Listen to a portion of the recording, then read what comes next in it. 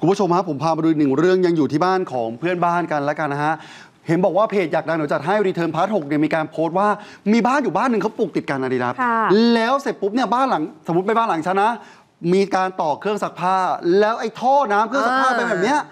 มันโผล่ออกมาคุณผู้ชมจากบ้านเขา แล้วไปอยู่ตรงช่องระหว่างบ้าน แล้วอีกตรงช่องระหว่างบ้านพอน้ำมันไหลมาคุณผู้ชมเขาบอกว่าเนี่ยคือต้นเหตุของการที่พอปล่อยน้ำออกมา น้ำมันไปชะดินข้างใต้ปูน แล้วทำให้บ้านเขาซุดนะฮะ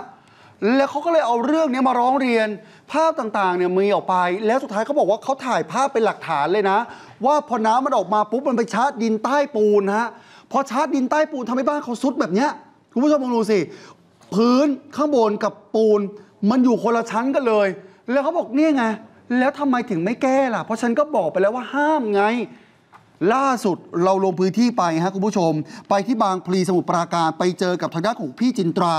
พี่จินตราบอกว่าแรกเริ่มเดิมทีเนี่ยเหตุการณ์เกิดขึ้นมาตั้งแต่ปี 62 แล้วนะฮะมีการบอกกล่าวไปแล้วว่าไม่ให้ทิ้งให้ทิ้งน้ำเสียเนี่ยจากเครื่องซักผ้า ลงมาในช่องที่มันชำรุดข้างรั้ว ให้ไปต่ออะไรก็แล้วแต่ตามท่อระบายน้ำไป แต่ตรงเนี้ยมันชำรุดอยู่ เพราะท่อตรงเนี้ยมันต้องมีการแก้ไข เพราะไอีตรงเนี้ยมันเคยเป็นท่อน้ำทิ้ง แต่สุดท้ายมันไม่ระบายลงท่อ มันไปโผล่ดินข้างบ้านอีกบ้านหนึ่งมันทำให้ดินตรงนั้นพื้นมันซุดเขาเลยบอกว่าพอไปแจ้งแล้ว เตือนแล้วอะไรก็แล้ว พอแจ้งแล้วแจ้งนิติก็มีการดึงท่อออก แต่พอให้หลังนิติแป๊บเดียวก็เอาท่อมาใส่ใหม่ สุดทนแล้วจริง ๆ อยากจะดำเนินตอนนี้ไม่ขอไก่เกลี่ยแล้ว อยากดำเนินคดีให้ถึงที่สุด เดี๋ยวจะมีการไปแจ้งเทศบาลมาปิดช่องโหว่ตรงนี้เสียความคือว่าถ้าเราไปเทศบาลเนี่ยก็คือว่าจะปิดรูตรงนี้ ก็คือตรงนี้จบนะคะ แต่เขาไม่ปิดเขาไม่ปิดสิทธิ์เราอะที่ความเสียหายที่เกิดขึ้นเนี่ยเราสามารถฟ้องทางแพ่งได้เหมือนเดิม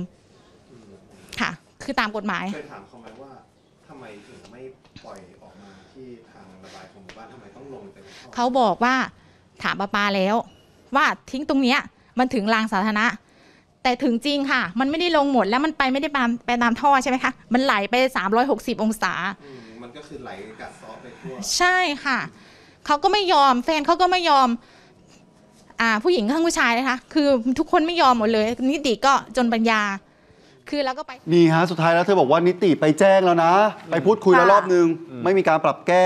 พอไปแจ้งนิติ นิติก็ไม่แก้อีก เพราะบอกว่ามันอยู่นอกเหนือการควบคุมแล้ว เธอบอกว่าเดี๋ยวสุดท้ายแล้วไม่ไก่เกลี่ยแล้วเพราะบอกไปหลายรอบคงจะไปแจ้งความ แล้วก็ไปแจ้งทางเทศบาลให้มาจัดการนะเพราะบ้านจะสุดค่ะครับอืม โอ้โหนี่บางทีมันมันไม่นึกถึงคนอื่นนะแล้วมันกระทบจริงๆนะครับนะฮะแล้วก็ไม่รู้เหตุการณ์ที่ผมเล่าไปที่รามคำแหง190 จะแก้ไขได้ด้วยหรือเปล่าเพราะรถก็ยังจอดหน้าบ้านเหมือนกันเออใช่ นะฮะอืมมันต้องแก้อะ ครับ